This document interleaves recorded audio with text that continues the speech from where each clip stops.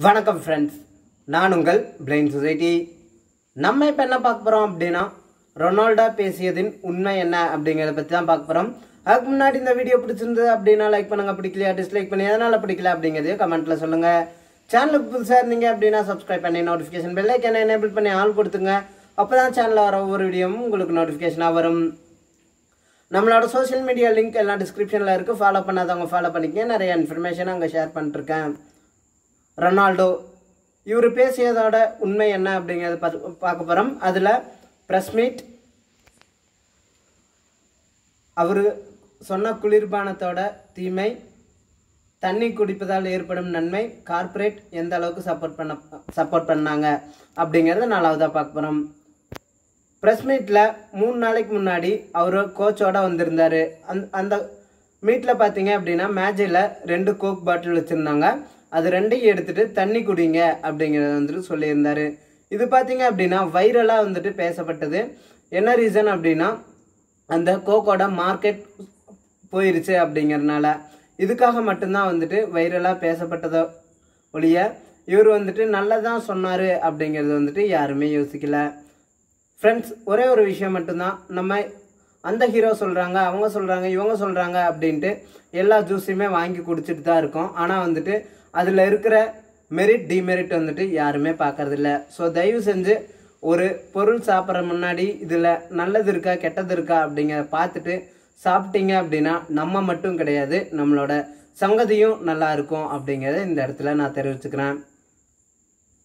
Coca Cola சாப்பிட்றதுனால ஏற்படும் தீமைகள். கொக்கோ கோலா தயாரிக்கிறது கோபின் அப்படிங்கிற ஒரு ரசாயன பொருள் வச்சு தான் தயாரிக்கிறாங்க. இது பார்த்தீங்க அப்படின்னா நம்ம கொக்கோ கோலா குடித்த பத்து நிமிஷத்தில் நம்ம உடலில் பத்து டீஸ்பூன் அளவுக்கு சுகர் அளவை வந்துட்டு இன்க்ரீஸ் பண்ணும். இந்த பத்து டீஸ்பூன் அப்படிங்கிறது ஒரு மனுஷன் அதிக அளவுக்கு அதிகமாக யூஸ் பண்ணுற சுகரோட அளவு தான் வந்துட்டு இந்த பத்து டீஸ்பூன்.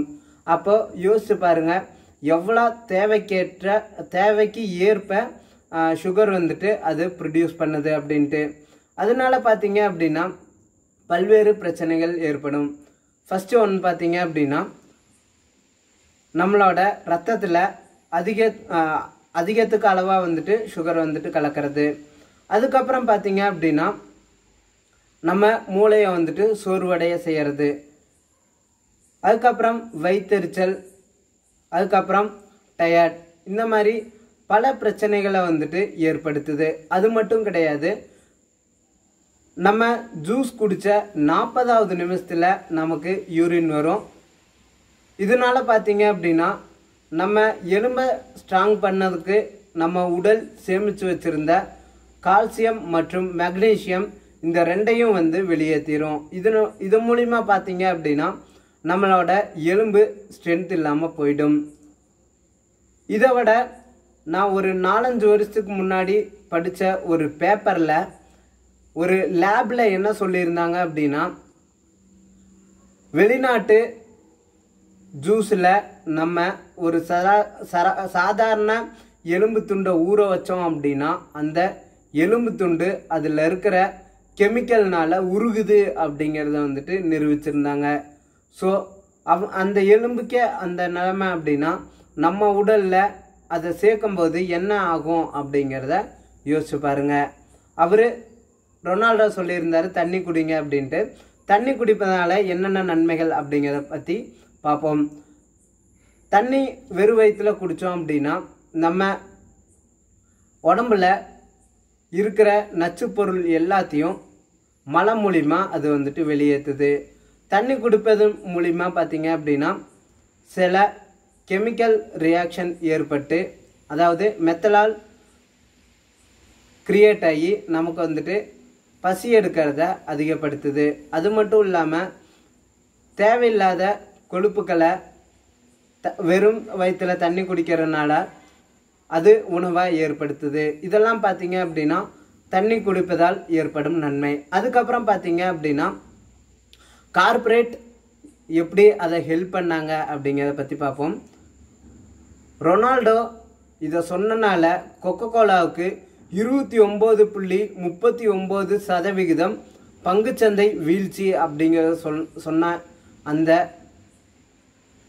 மார்க்கெட்டிங் சாரி அந்த நெட்வொர்க் சேனல்ஸ் அதாவது கார்ப்பரேட் சேனல்ஸ் பார்த்தீங்க அப்படின்னா அதனால எத்தனாயிரம் பேர் பாதிக்கப்பட்டாங்க அவர் கரெக்டாக தான் சொல்லியிருக்காரு அப்படிங்கிறத வந்துட்டு சொல்லுச்சு அப்படிங்கிறது எனக்கு தெரில கத்தியில் பார்த்தீங்க அப்படின்னா நான் கார்ப்பரேட்டரா கார்ப்பரேட் கார்ப்பரேட்க்கு தான் சப்போர்ட் பண்ணும் அப்படிங்கிறத வந்துட்டு வில்லன் சார் தெரிவிச்சிருப்பாரு.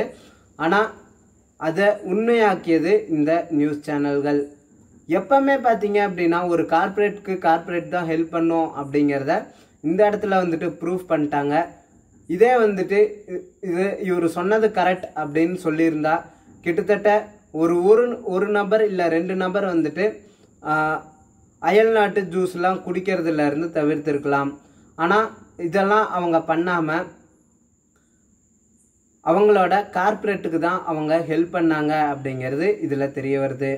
ஓகே ஃப்ரெண்ட்ஸ் போர்ச்சுகலை சேர்ந்த ரொனால்டோ சொன்ன விஷயத்தை பற்றி நீங்கள் என்ன நினைக்கிறீங்க அப்படிங்கிறத கமெண்ட்டில் சொல்லுங்கள் அடுத்த ஒரு நல்ல வீடியோவில் உங்களை சந்திக்கும் வரை உங்களிடமிருந்து விடைபெறுவது உங்கள்